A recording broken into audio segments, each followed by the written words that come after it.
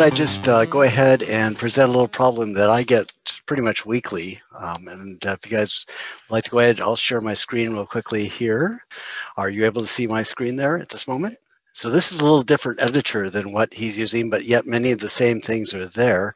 And uh, our graphic artist usually comes up with some sort of theme for the introduction for our particular service. So some images for this. This was an Easter service. So obviously it has uh, some of the symbolisms of the crucifixion as well as the empty tomb in this particular case.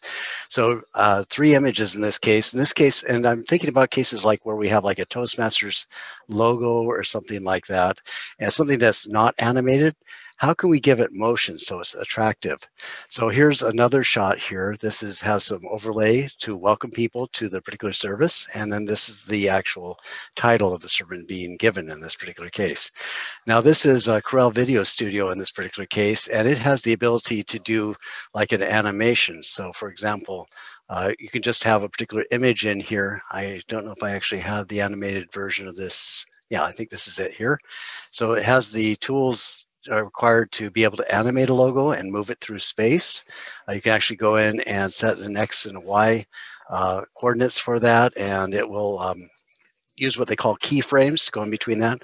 By the way, this has uh, you know the in and out uh, cuts that you were talking about in there built into that. So it's you can see a lot of the same things. This is the timeline down here. These are the pictures that are there. We'll go back to the original ones here, and uh, so how um, I just wanted to open this up for discussion to see how you guys thought I might wind these three images into an opening sequence, and then we'll watch it on the timeline to see what actually happened here. And I'll give you a hint. Uh, we talked about transitions a bit and Marvin's trends. Um, particular thing. We used a lot of transitions in this particular one. You can see these uh, these brown zones here, uh, where uh, are all transitions uh, through this particular time. Plus, uh, one of the nice features of this particular one is it has this feature called auto music in here, and you could actually have it generate a music score for you that's non that's royalty free, that uh, you, uh, can be set to almost any length in this particular time. So, what would you guys think if you were given these three images? How might you animate that? Merlin, did I see your hand raise? Oh, no, okay. Any thoughts about that? So how would we engage the audience and tell a story with just these three images? Well, in this particular case, what I did is I actually created another image using a photo editor here, and this this dark image here. I made it monotone and then colorized it, so it makes it look like it's at night in this particular case. Mm. I also added a Cricket soundtrack down here in this particular area down here. So this is kind of how that would play, and you can see how, uh, how this might work for the opener. I'll go ahead and run this here full screen for you.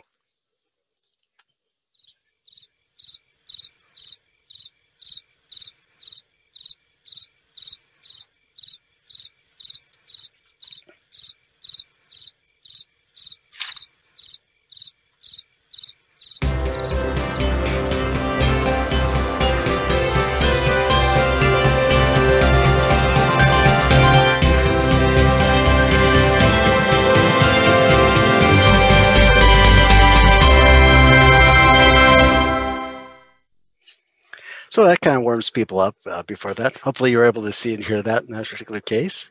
Yeah, so that's taking three still images in this place using animation tools and uh, a little bit of uh, work with uh, image editing and uh, creating a presentation out of that. That was only 30 seconds long, but it kind of engages everybody.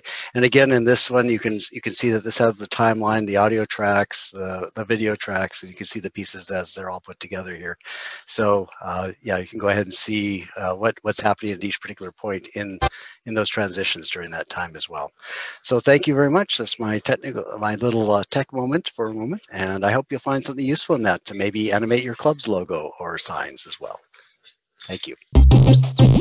Game over.